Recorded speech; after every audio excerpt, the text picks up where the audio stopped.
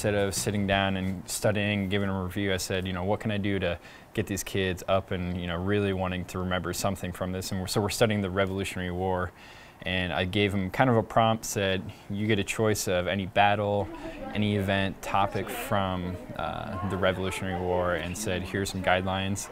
I, I chose their partners for them, um, kind of made a little structured partnering like that and then gave them the freedom to come up with a one to three minute um, live news report from the Revolutionary War. So if they were reporting from the Battle of Saratoga or the Boston Tea Party, the Boston Massacre, and it has just taken off from here. And it's just been an awesome project so far. And I kind of told the kids, I said, effort. I just want to see effort on this. Um, I just want to see that you're putting in the time, the research. They had to show me their information that they're going to report on, know exactly what they're going to say, how they're going to do it. Um, and it's pretty much going to be kind of an effort grade. You definitely are going to see the kids that, I told the kids that, you know, I'm not going to judge you and grade it on how well it turns out. I'm going to, you know, how, how well of an effort you put into it. Kids' creativity, you know, I told them to have fun, but I mean, I had kids coming up with, commercials and saying, let's do a commercial and then shh, break, we're doing a breaking news and kind of a live insert like that. And it's just, I mean, kids, the creativity, if you give it to them, they they pick it up. I mean, just like that. I mean, fast, and they're able to do things that when I was a kid, I never would have dreamed of, and that's just really fun to see that. So, the biggest thing that you have to remember is that it's okay to fail in front of your students and show them that you're vulnerable in front of the kids and letting them know that hey, you know, everybody makes mistakes.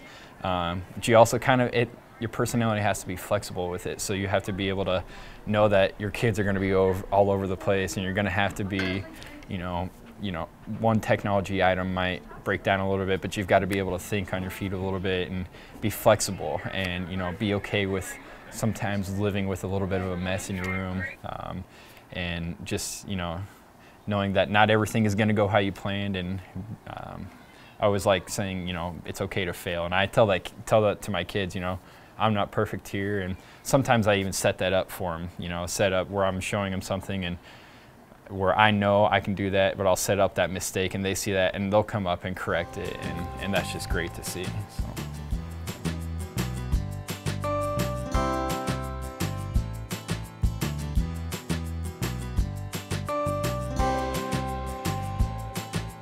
In my class today, we are actually just starting a project. Um, we're in a poetry unit, and they last week they wrote a poem, um, just as kind of the, a practice and to get the process down. This week, we're now taking that same idea of writing the poem, but now we're bringing in our iPads and having them not only write the poem, but then use their iPad to explain how they did it and to be the teacher themselves. So their goal is to explain to somebody who has no idea about blackout poetry um, the process, any tips, any hints. So they're doing the poem, but then they're using the iPad to really explain the process further.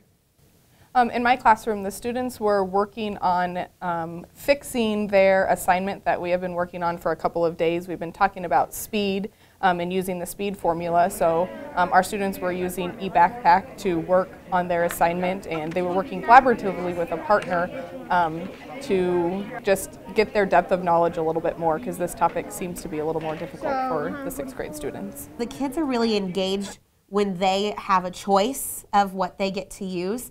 Um, I've done several projects where I give them the the basics. I give them the guidelines of what I want so them to have, and then I let them choose what apps to use, um, how they're going to show me what they know. Um, so my favorite things are really when I let the kids kind of create and let them have some freedom and some options in how they show me. Um, and I would agree with Kelly. Um, I think creating, not consuming, um, making sure that we're using the iPads as a creation device, not just a consumption device, because we can use books to consume with. So letting the students create and show their um, creativity. A lot of people, a lot of teachers think that, oh, I might do something wrong, I might break something. Um, but I think really to just jump in and play around and to figure it out and just not to be afraid of it. And I think too, if you get to a point where you're stuck, um, the kids really will help out and the kids really will um, you'll be impressed with what they know and what they can figure out. So I think my big message that I would, would want to share with teachers that are maybe hesitant about using technology is to not to be afraid and just to play around and try it out. Um, and going one step further than that, just not being afraid to fail, um, showing your students that it's okay if the lesson flops for the day and we'll find a new way to do it um, the next day, but definitely learning from your students. The students, um, they are experts with the technology and not being afraid to ask them for help and let them lead a lesson if you are not for sure what to do with it. And they get so excited when they can show you something new that they found on their iPad that you don't know yet. They get so excited that they get to teach you about the iPad. So that's fun too.